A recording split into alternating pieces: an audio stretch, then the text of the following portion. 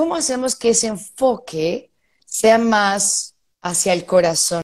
que no se quede en idea. La primera vez que viví la experiencia más profunda de la teología del cuerpo que tuve, que fue mi primer encuentro en un retiro bastante largo, yo salí con el corazón explotado, o sea, me acuerdo perfecto. Y justo por lo que tú mencionabas, esta, esta mujer ¿no? Eh, me dijo, Andrea, está bien que quieras ayudar, pero no es tu tiempo, espérate, bájalo al corazón.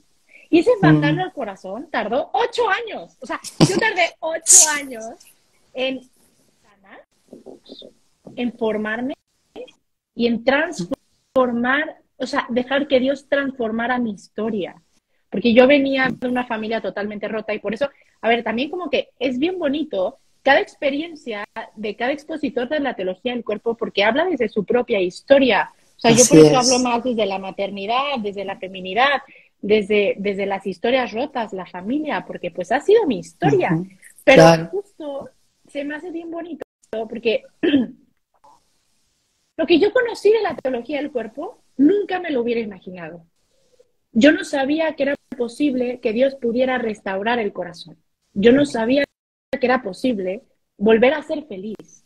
Yo no sabía que estábamos llamados a ser amados de esta manera. Mm. Cuando yo experimenté, y, bueno, no, cuando yo conocí lo que podíamos aspirar, como que dije, qué locura, o sea, yo lo quiero todo, yo lo quiero todo, yo quiero, yo quiero esto para mí, porque si estamos llamados a sabernos amados de esta forma, si estamos llamados a, a, recibir y a responder ese amor, si estamos llamados a ver a la persona que amo el regalo más grande de mi existencia, pues no solamente quiero saberlo, quiero vivirlo.